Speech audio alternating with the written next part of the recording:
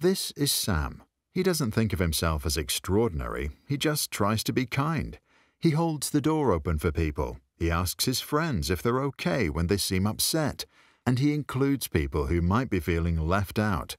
What Sam doesn't know is that his kind deeds are quietly transforming his brain, his body, and even the people around him. Let's take a look at what's happening inside Sam's body. When Sam does something kind, his brain releases dopamine.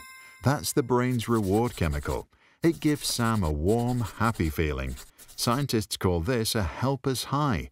It's the reason we feel good after doing something kind. Sam's kindness also triggers his brain to release oxytocin, also known as the love hormone. It helps him feel connected and cared for. That oxytocin sets off another helper, nitric oxide, which relaxes and opens up his blood vessels. With blood flowing more easily to and from his heart, his blood pressure goes down and his heart becomes healthier. Oxytocin also helps lower stress chemicals like cortisol and calms inflammation in the body. Those two things, cortisol and inflammation, make our bodies age faster, so while Sam is showing kindness on the outside, inside his body that kindness is actually helping him stay healthier and live longer. Scientists have even found that people who are kind most of the time have much lower stress levels than the average population. And when it comes to friends, kindness helps Sam there too. We naturally feel closer to people who treat us kindly, Scientists believe this goes all the way back to our caveman days, when humans survived by working together and looking out for each other.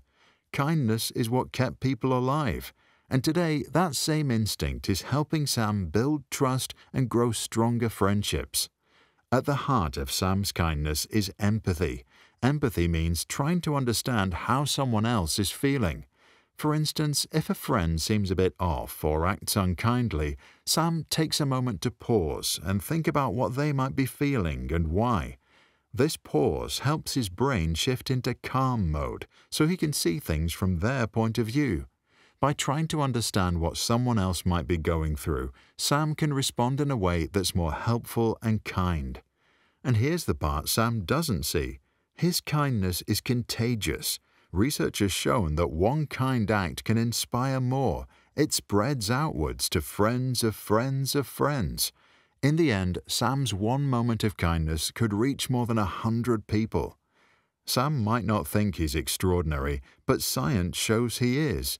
Every kind act reshapes his brain, protects his heart, reduces his stress, slows his aging, and inspires kindness in others. Kindness really is at the heart of a healthier, happier life and a kinder world. What could you do to spread more kindness today?